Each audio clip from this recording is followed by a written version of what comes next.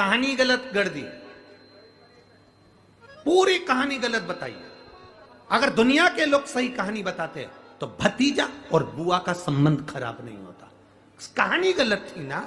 लोगों ने कहा हिरण्यकशिपु ने अपनी बहन से कहा, बहन, तू अपने भतीजे को गोदी में रखकर बैठ जा और चादर ओढ़कर बैठ जाना। तू बच जाएगी, तेरा भतीजा जल जाएगा। तो बुआ भतीजे को जलाने के लिए गोदी में लेकर बैठी। बोलो, सही है कि गलत है? लोगों ने कहानी गलत बताई। होली का? लोगों ने कहा, उसने अपने भतीजे को जलाया। पहले तो होलिका का नाम तो निकालो कि होलिका का नाम क्या है? कथा वालों ने कह दिया हिरण्यकशिपु की बहन थी होलिका वो अपने भतीजी प्रहलाद को गोदी में लेकर बैठ गई। वो प्रहलाद को हाथी के पाँव के नीचे डाला, खोलते तेल में डाला, अग्नि में डाला, इसमें डाला, उसमें डाला, नहीं मरा। आखिरी में अपनी बहन से कहा होलिका तो अपने भतीजे को गोदी में लेकर बैठ जा पहले उस होलिका का असली नाम तो लाओ, जिस होलिका का नाम विष्णु पुराण में डूंडा लिखा है। क्या नाम लिखा है? डूंडा। होलिका का असली नाम लिखा है विष्णु पुराण में डूंडा। इसलिए आज भी होली में लकड़ी नहीं जलाई जाती मोटे मोटे ढूंढ जलाए जाते हैं। क्योंकि उसका नाम ढूंढा है।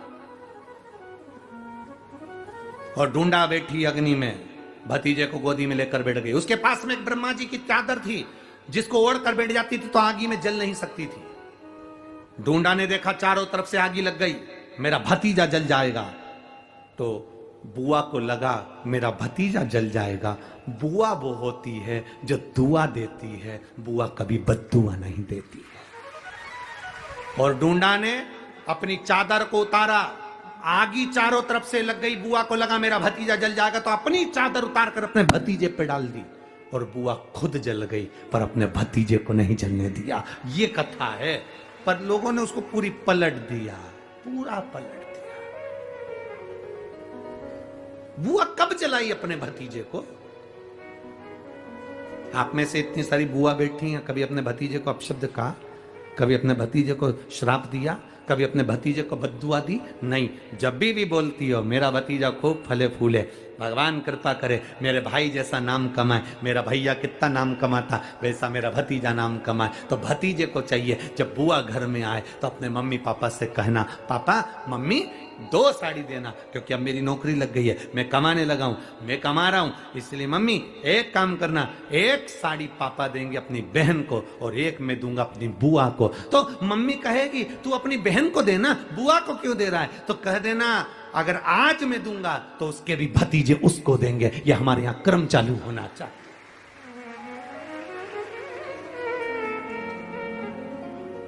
पर करे क्या?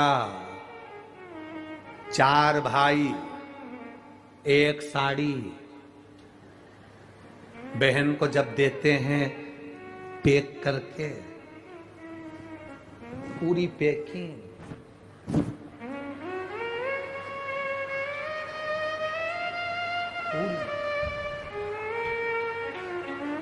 अच्छी बढ़िया वाली। साड़ी अगर ढीली ढीली दिखे तो उसमें कपड़ा भी फंसा दे, काका। जोड़ और पैकिंग करके, और चार भाई, एक साड़ी। चारों भाई राखी बनवाने के बाद ऐसे हाथ लगा के देते हैं, जैसे पूरे पुणे की प्रॉपर्टी दे रहे हो। पूरे पुणे की किसी ने पूछा कि क्यों रे? चारों भाइयों ने मिलके एक साड़ी दी। अभी हम एक ही तो घर में रहते हैं। सब एक हैं। तो एक काम करा करो, एक थाली खाने की लगाओ, एक भाई खाना खाए, बाकी के सब टच करके बैठ जाओ। एक ही जगह तो रह रहे हो, एक ही थाली में काम। तुम्हारे टच करने से चार भाई का एक साड़ी में हिस्सा हो गया तो तुम्हारा समोसा तुम खाओ, बाकी के तीन भाई टच करके बैठे। पेट नहीं भरा है। अपने को क्या करना, अपन तो अपनी साड़ी ओढ़ो, दादा। गुरु जी ओ गुरु जी हमने कहा, क्या है? सारे त्योहार फीके हो गए, होली आ रही है, लगी नहीं रही की होली जैसा है।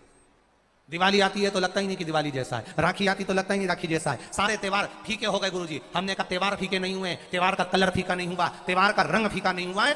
बस त्योहार वही है, गुलाल वही है, मिठाई वही है, गुजिया, पपड़िया वही है, खुरमे, चक्री वही है, पपड़िया वही है, गुजिया वही है, इंसान वही है, बस बाज़ार में से जो रौनक समाप्त नहीं हुई है, रौनक आपके भीतर की समाप्त हो गई, आपके भीतर इतनी ईर्षा भराती गई, इतनी ईर्षा भराती गई, इतनी ईर्षा भराती गई कि वो ईर्षा के कारण, उस अहंकार के कारण, उस अहम के कारण तुम एक दूसरे से मिलना पसंद नहीं कर पाते। पहले के लोग कहते थे, हमारे यहाँ जब होली होती थी, इतने लोग आते थे, मिलने जाते थे, गुलाल लेकर जाते थे। आजकल तो कोई दिखता नहीं है। कारण केवल इतना सा है, तुम्हारा अहंकार, तुम्हारा ईगो, तुम्हारा अभिमान, तुम्हें अपने घर से बाहर नहीं निकालता, तुम घर से बाहर नहीं निकलते, अपने अहंकार के कारण। अपनी काया के कारण अपनी अभिमत्ता के कारण आप दूसरे से मिलना पसंद नहीं करते जरा सा कोई ने कलर लगाया तुम्हें क्रोध आ गया जरा सा किसी ने गुलाल लगाया तुम्हें गुस्सा आ गया जरा सा कोई आया भाभी जी भैया जी करके गुलाल लगा गया तुम न न न न न न न न न कहा जाओ इतने वीआईपी हो गए इतने वीआईपी हो गए इतने वीआईपी हो गए कि अपने त्योहारों से भी दूर हो गए मेरा निवेदन है होली का त्योहार आ रहा है उस फागुन के त्योहार में मेरा देवादिदेव महादेव माता पार्वती के साथ होली खेलता है, मेरा कृष्ण कन्हैया राधा रानी के साथ होली खेलता है, आप भी अपने इष्ट मित्रों के साथ होली खेलिए और दिल से खेलिए। हमारे सीहोर में, सीहोर ज़िले में एक होली होती थी, उस होली का नाम हमने पिछली बार बदल दिया था। कौन सी होली कर दी थी? महादेव की होली। पिछली बार हमारे सीहोर ज़िले में हमेशा होती आई थी वो होली।